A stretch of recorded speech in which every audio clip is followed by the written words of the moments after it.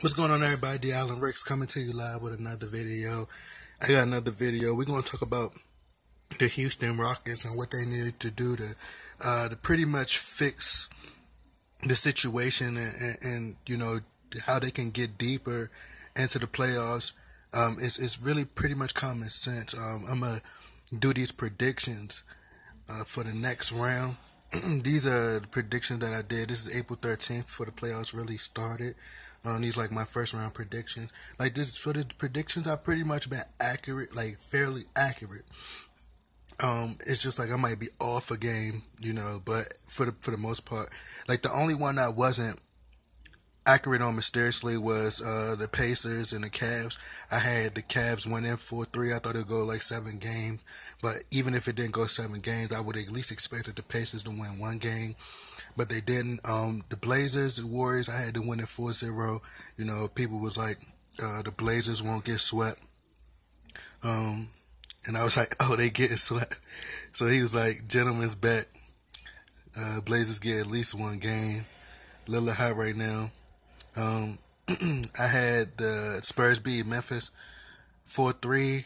They obviously beat them uh, 4-2 and the Rockets beat them for I think for one was it for two I think it was for one.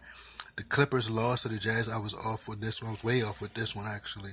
Uh, Boston I was off but by one game. Um, Raptors and Bucks I think it went four two, and the Wizards went four three four two with the Hawks as well. So I, like I said I've been fairly accurate for the most part. Um, I'm gonna show you my last one. I'm gonna show you my other one that I did too recently for round two. Um, I think I passed it. It might be up a little bit more.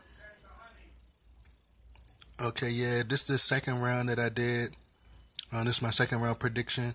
I had the Spurs beating the Rockets 4-2. This was April 30th. Um, I got the Celtics. This this, uh, this is still going on, the Celtics and Wizards. So we don't know who's going to win uh, between the Celtics and the Wizards.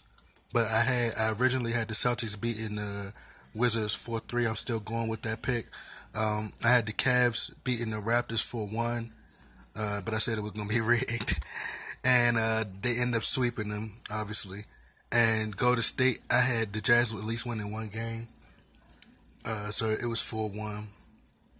So I will be doing a prediction video probably. If y'all want me to do a prediction video, just let me know. But, you know, if not, then I'll show y'all the next time. But as far as like the Houston Rockets, this is basketballreference.com. I'm a I'm a huge internet geek, bro. Like I love basketball. I even go back and study all the old players. Like people don't understand how much I really love basketball. So um, this this season, as you can see, that this team only won two championships, right? And I can show you guys what's really the issue with the Rockets. My internet is kind of slow, you guys, so bear with me. I'm using like hotspot right now. I don't have like any good Wi-Fi. So, okay, look at this team. Like defensively, out of 30, they ranked 18th. So, people don't understand that defense really is a major key. Like you see, they, they were second offensive, offense, so they play at a high a high pace. This is why the Warriors are effective as well. The Warriors play at a very high pace and they do a lot of ball movement and offenses. Like this, this is like a a, a compliment to Mike D'Antoni. They're second out of thirty. They're they, they were second. They were rated second in offense, and defense is horrible. You know, like people don't understand that defense wins championships. And the thing is, like, as far as like defense winning championships, Mike D'Antoni really doesn't a coach like he doesn't preach defense.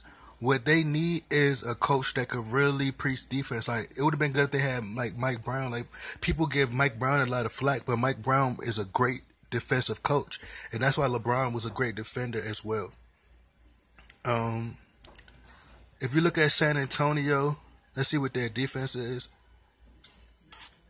Um, okay, they're first in defense, and this is probably, I'm almost sure this is why a major reason why this team, you know, was able to beat them. You know, defense wins championships, and people don't understand that. You know, this defense, they were rated number one in defense.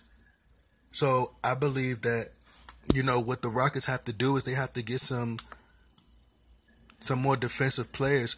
Uh, Patrick Beverley is a great defender, you know, great defender.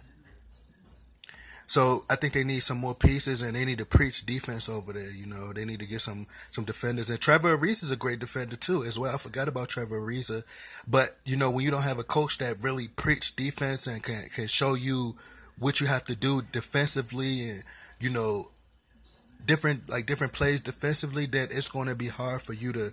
You probably gonna go out there and just focus more on offense, you know. And sometimes people let their offense make up for their defense. But like I said, like the Rockets are a good team.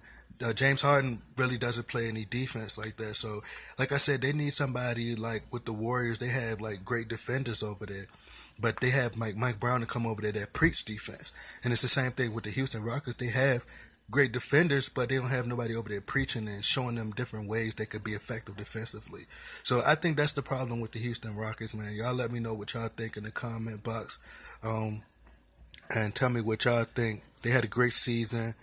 But um, they still have to. I think just defensively, they have to work on that. Get a coach, a defensive coach. They need to fire the defensive coach that they have now, and pretty much work on this because 18 is bad. You know, rank 18th is is not really good. But anyway, man, make sure y'all click that subscribe button. I'm out.